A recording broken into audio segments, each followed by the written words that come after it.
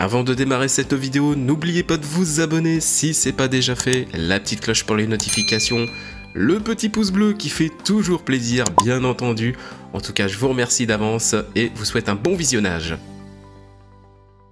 Allez, aujourd'hui découverte de ce petit Renault Reworked by Shumi avec une petite nouveauté très très très sympathique, je vous présente ça après l'intro.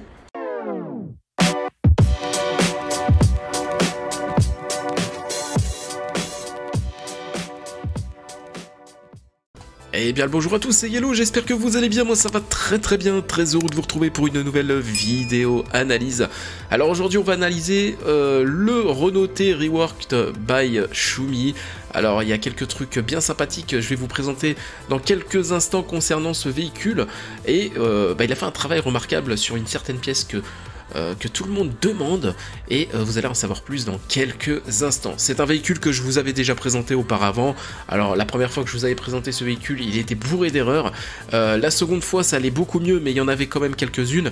Et bah, j'espère que la troisième, c'est la bonne. Mais en tout cas, le petit ajout de Choubi, vous allez voir, c'est juste extraordinaire et très sympa ce qu'il a fait sur d'ailleurs sur tous ces véhicules retravaillés. il l'a mis et franchement, c'est plutôt sympathique. Allez, c'est parti, vendeur de camions. On va aller donc découvrir ce Renault Alors, à savoir, ce, Renault va remplacer par défaut les T SCS euh, pour qu'on puisse euh, profiter pleinement euh, des modifications de Shumi afin de le rendre, afin de le rendre plus sympa et plus réaliste. Voilà donc ce Renault donc c'est ni plus ni moins le Renault par défaut SCS avec quelques améliorations et on va regarder surtout voilà, au niveau de, des accessoires, etc. Donc les cabines, etc., vous les connaissez toutes. Hein, voilà, vous avez les cabines, les châssis, donc ça, il n'y a rien qu'à changer. si je dis pas de bêtises, hein, il n'y a rien qu'à changer, voilà. Euh, je regarde, on peut le mettre en 6-2, 6-2, 4 machin, je crois que ça, ça ne change pas, on va le laisser comme ceci. Pour les motorisations, c'est pareil, ça ne change pas. Pour les transmissions, pareillement. Euh, on va voir l'intérieur après. Euh, pour les pour les, euh, les skins. Donc vous pouvez utiliser les skins par défaut SCS, ça fonctionne très bien. Le seul ajout ici, c'est effectivement donc ce skin Renault Sport, d'ailleurs qu'on va garder. Voilà. Allez, niveau personnalisation, euh, du coup c'est là où tout va se jouer, vous allez voir qu'il y a pas mal de petits trucs. Donc là du coup on va avoir des petites bavettes. Alors je sais pas si ça appartient, ouais ça ça appartient au DLC. Et, euh, ah bah non, c'est principalement du DLC, hein. donc voilà, on va laisser comme ça. C'est très bien. Alors niveau rampe, barre, etc. Donc ça c'est pareil, hein, ça ne change pas, ça reste tel quel. Ici on va retrouver donc euh, les supports de plaques, vous les connaissez tous, hein, voilà, euh, on les retrouve principalement sur les modes de Shumi, on va prendre le Renault ici, c'est très bien, ici possibilité euh, voilà, de changer voilà, les pare-chocs, etc., peinture, peinture évolution, etc., voilà, on va mettre en peinture, donc ça, ça ne change pas, ça appartient pas au mode, hein. voilà, c'est principalement le DLC, alors il me semble qu'il vous faut le DLC obligatoirement, je crois, pour télécharger ce mode, hein. si j'ai pas envie de, j'ai pas envie de dire de bêtises, mais il me semble, voilà. Ici, donc là, bon, les trucs standards, les grilles et compagnie, d'ailleurs, euh, voilà, qui n'ont pas été euh, à jour, vous voyez, par rapport au skin, voilà, il n'a pas ajouté le skin au fichier def. Ici, donc voilà, les faux non classiques. Voilà, donc là, on va retrouver les calendres, hein, bon, par défaut. Voilà, donc là, c'est version évolution, Chrome évolution, Chrome. Euh, moi, je veux la full paint normale. si je la trouve, voilà, peinture qui est ici. Voilà, tac. Ici, donc là, bah, c'est pareil, hein, on va retrouver ici les les pare-buffs et compagnie, les rampes, euh, voilà, tout le tralala, quoi. Vous connaissez tous. On va laisser celui-là d'ailleurs. Voilà. Euh, les bandeaux ici, euh, les calendres inférieurs, voilà, on va les mettre en peinture, tac tac, sinon on va retrouver donc les trucs par défaut, etc. L'appareil, c'est les trucs peinture, compagnie, plastique peinture, je pense que c'est mieux comme ça, pour mettre nos petits accessoires. Ok, donc là pour l'instant il n'y a rien qui concerne le mode, hein. voilà, je mets tout ça comme ça et on verra après. Ici par contre là on va pouvoir remettre des stickers, donc ça bah, c'est choumi, hein, voilà, des stickers, voilà, Renault, euh, etc. Euh, bon, voilà, c'est plutôt pas mal. Voilà. Euh, enfin sauf les, les et tout, je suis pas très fan. Qui aime, qui aime pas. moi perso je suis pas très fan. ici les bandeaux d'essuie-glace, donc ça vous connaissez tous, hein, voilà, donc ça il n'y a rien là-dessus, là non plus, voilà, on peut mettre par buff les compagnies, voilà, rien, de, rien de spécial pour l'instant. Euh, les pare-soleil, c'est pareil. Hein. les pare-soleil euh, par défaut. Et ceux du DLC, les rétro, pareil. Peinture, etc. Voilà. Ça, pour l'instant, il n'y a rien qui change. Pareil, hein, sur le toit. Même chose. Voilà. Vous savez, euh, il n'y a rien de rien d'extraordinaire. Les gyros, etc. Voilà, donc ça, c'est pareil. On a les trompes trompe Renault ici, voilà, qu'on peut mettre. On a les déflecteurs à l'arrière, je suis pas sûr. Ah oui, ça appartient au mode, ça par contre, hein, vous voyez. Donc la peinture LED, machin, etc. Ok, ça c'est pareil, on peut le peindre. Voilà. alors, voyons voir. tac, tac. il a pas mis les trucs de Trobago, j'ai l'impression. Je crois que c'est, je crois qu'il les a enlevés. Alors ça serait bien qu'il les enlève parce que franchement, c'est vrai que c'est pas tip top par contre. Euh, ah oui, ça on peut le mettre en peinture, le petit logo qui est ici. Ça c'est pas mal ça. Ça c'est très sympa. Alors ici, ok. Donc là c'est pareil. Donc là, bon, ça c'est les trucs... Euh, alors ça c'est peinture Evo, peinture normale il est là. Peinture, peinture Evo, peinture normale. Ok, voilà. Ça pareil, les bandes réfléchissantes, on peut les modifier. Voilà, tac tac. Ça, ça appartient au DLC. Ça on va mettre en peinture. Ça également. Les petites barres en voilà, on peut les peindre. Là c'est pareil. Et voilà. Et là ici on va pouvoir mettre les euh, peintures LED. Voilà, ici, avec les LED, tout ça, tout ça, ça appartient au DLC. Donc là, les, euh, les flexibles à l'arrière, donc c'est pareil. Hein. donc ça, c'est euh, typique Shumi. Voilà, soit peinture, soit noir. Voilà, moi je vais mettre en noir. Ça, ça va bien avec la, teinte du véhicule. Après là, on a les, échappements verticaux, les carénages latéraux, voilà, bon, les trucs très classiques, voilà, sont les échappements ici, soit vous pouvez mettre ici barre LED et compagnie, ou un aéro, on va laisser l'aéro, on va mettre euh, donc les euh, roues ici, peinture. Voilà, avec un petit moyen Renault couleur jaune. Ça peut être pas mal, si j'arrive à trouver le bon jaune. Voilà, je pense que c'est plus un jaune comme ça. Bon, le jaune n'est pas terrible, hein, le jaune de le jaune SCS, il ressort pas assez. Voilà, euh, tac tac. Là, on peut changer la couleur des réservoirs, ok. Voilà, vous avez plusieurs voilà, aluminium, plusieurs litrages différents, 1045, 1475, 645. Vous avez même les versions noires, regardez. Voilà, euh, les, réservoirs noirs ou les versions chrome. Voilà, vous choisissez. Moi, du coup, je vais le mettre en noir. Je pense ça, c'est sympa. C'est plutôt propre. Pareil ici euh, pour euh, les couvertures de châssis. On a la version noire. Voilà. Alors ça, je sais pas si ça appartient au DLC. Non, non, ça appartient au mode. Hein. Ouais, ça appartient au mode. Je trouve ça, c'est sympa, par contre. Ça, c'est vraiment cool. Voilà. Ça donne un, petit plus. Je sais pas si j'ai fait tous les trucs là, ici. Euh, ça, je l'ai fait, ça, je l'ai fait. Ouais, si, si, je l'ai fait tout ça. Ok, donc ici, les calottes de roue, ça, voilà, tout le monde connaît. On va mettre les... Euh, tac, ça comme ça, ça comme ça. Ah, j'ai ah, pas changé les pneus à l'avant. C'est bien ce qui me semblait. Euh, on va mettre... on va laisser du Goodyear. Allez, on va laisser du Goodyear, ça va changer de Michelin. Tac, et voilà. Hop, voilà. Ça, et voilà. Alors à l'arrière pareil, hein, donc on peut peindre les pare-chocs, on peut mettre une petite partie en chrome ici. Là pareil, on peut mettre les supports de plaques. On va mettre Renault. en fait la plaque SS va se mettre dessus directement. Là on peut changer les feux, bon ça, ça appartient euh, au DLC, voilà. Tac. Euh, tac, le petit réservoir qu'on peut peindre. Ici pareil on peut mettre les petites bavettes et tout, bavettes Renault. Euh, voilà, truc classique. Euh, et voilà, je crois qu'on a fait le tour euh, pour l'extérieur. Donc c'est vrai que l'extérieur, il n'y a pas, euh, il a pas, c'est pas, c'est pas ouf. Hein, voilà, ça reste un Renault par défaut. Mais en fait, tout va se concentrer à l'intérieur. Vous allez voir, à l'intérieur, il y a beaucoup de choses qui ont changé et c'est plutôt sympathique. Voilà. En tout cas, déjà, il a pas viré les trucs trop. Enfin, il a viré les trucs trop bagos.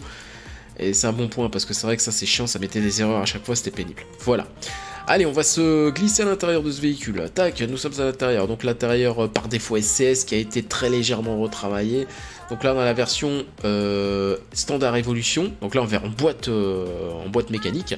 Et là on a la version ici en boîte manuelle. Parce que là regardez du coup on a le petit, le petit Komodo ici qui se rajoute.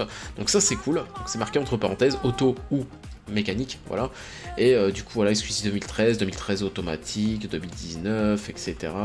Euh, exclusif évolution, UK évolution 2, voilà. En boîte auto, voilà, exclusif noir, tac. Euh, après c'est UK, etc., etc. Donc nous on va rester exclusif noir comme ça, c'est sympa, voilà. alors, on va regarder un petit peu ce qu'on peut faire à l'intérieur. Donc l'intérieur, donc déjà on peut retrouver donc tous les volants, etc. Voilà, tous les volants différentes textures. Euh, différentes textures, le GPS on peut le mettre, ici on peut mettre nos accessoires, là les éléments du pare-brise donc ça y a pas de souci, ça c'est les, euh, les antéviseurs d'ailleurs que j'avais oublié de mettre, ici possibilité de mettre, ah par contre, ah si il a mis, il a quand même mis les, euh, les franges par défaut SS seront travaillées version Renault, donc ça il les a mis, bon, il, a, les a juste récupéré en fait, hein, du Renault Premium, et puis il les a adaptés sur celui-ci, donc on va mettre le SS qui est, bon quoique, Allez, on va lui faire plaisir, on va y mettre celui-là. Voilà. les objets suspendus, donc là on a les tigres, voilà, de, de Shumi, voilà, les loups, etc. et compagnie. Ok, donc là c'est pareil, donc on a des, accessoires. On va regarder s'il n'a pas rajouté des accessoires, on sait jamais. Non, il n'y a rien. Euh, tac, on va mettre un truc comme ça. On va mettre. Euh, ah, c'est dommage, par contre, on peut pas mettre un truc sur le côté. Voilà.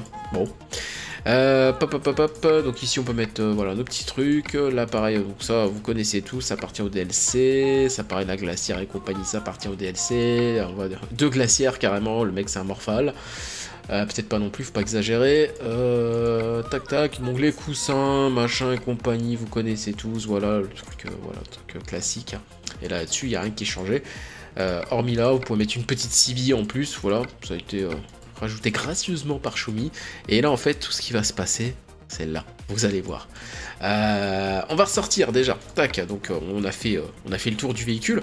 Et hop, j'enlève juste les slots que vous puissiez voir un petit peu à quoi ça ressemble, mais il est plutôt pas mal ce petit Renault, il est très sympa.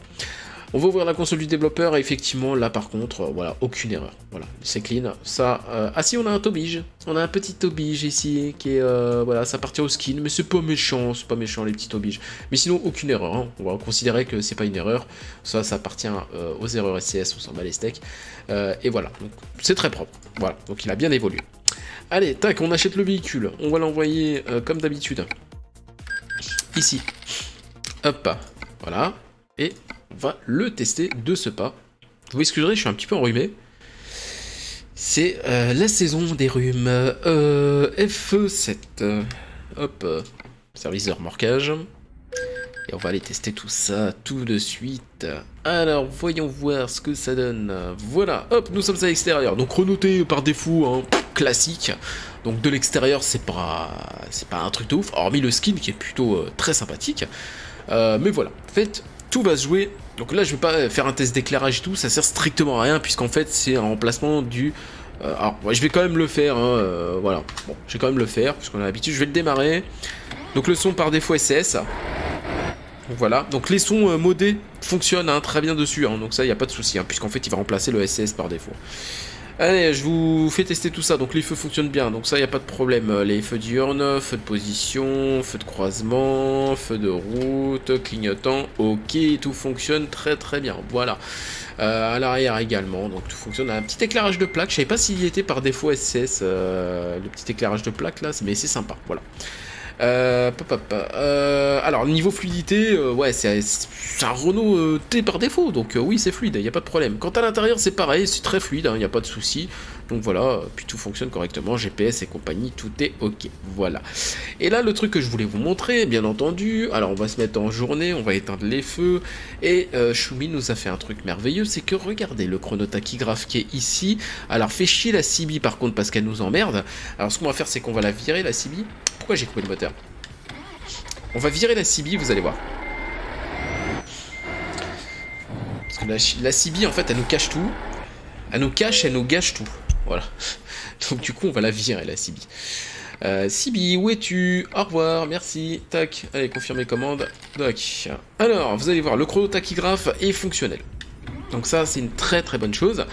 Là, regardez du coup, 13h01, donc il est quelle heure dans le jeu? Eh ben, il est bah, 13h01, donc l'heure fonctionne très bien. Euh, les kilomètres heure, c'est pareil, vous allez voir, ça fonctionne très bien. Et là, vous avez des kilomètres également. Regardez les kilomètres du véhicule. Donc là, en l'occurrence, on a 0 km, hein, puisqu'il n'a pas roulé, il est tout neuf.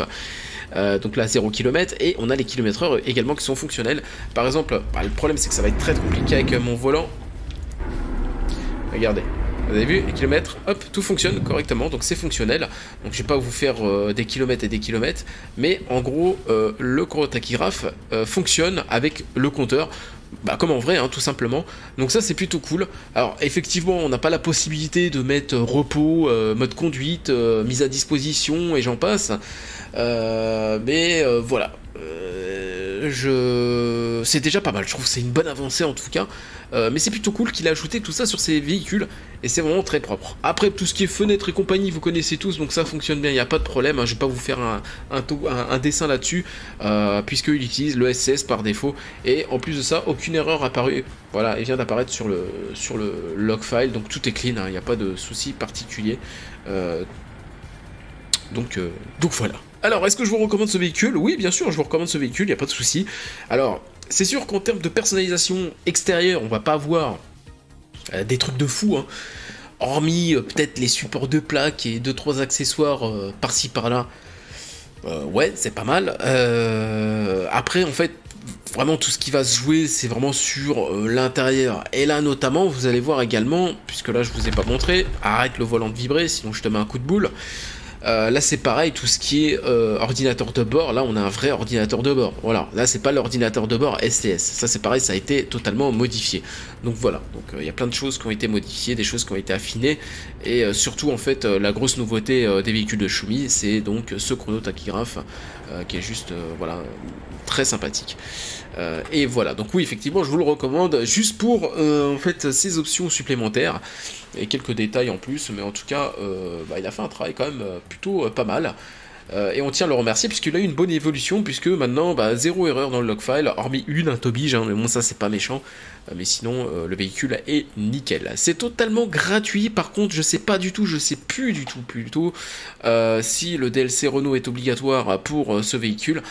Euh, je sais plus. Euh, si toutefois il vous marque incompatible, c'est qu'il vous faut et que vous n'avez pas le DLC Renault, c'est qu'il vous faut obligatoirement le DLC Renault. Si vous n'avez pas le DLC Renault et qu'il vous marque pas incompatible, c'est que bah il est voilà juste euh, on va dire compatible avec le DLC Renault, mais pas obligatoire de l'avoir. Donc voilà, je vous mets le lien en description, n'hésitez pas à me faire vos retours et euh, me dire ce que vous en pensez. En tout cas, j'espère que cette petite vidéo vous aura plu, n'hésitez pas à vous abonner si ce n'est pas déjà fait, la petite cloche pour les notifs et le petit pouce bleu, n'oubliez pas, et je vous dis à très vite sur la chaîne pour une prochaine vidéo, portez-vous bien, à très bientôt, ciao tout le monde